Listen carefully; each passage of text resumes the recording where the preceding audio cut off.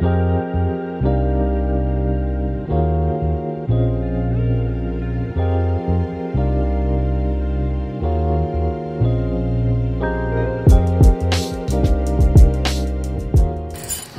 my name is Pam and welcome to Get Your Life.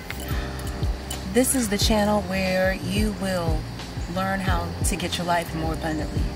On this channel, we're going to feature interviews and discuss mental health. We're going to talk about autism awareness, breast cancer awareness, and we're going to talk about how to live your life based upon faith and love. Love yourself, heal yourself, get your life more abundantly. The scripture taken from John 10:10. 10, 10.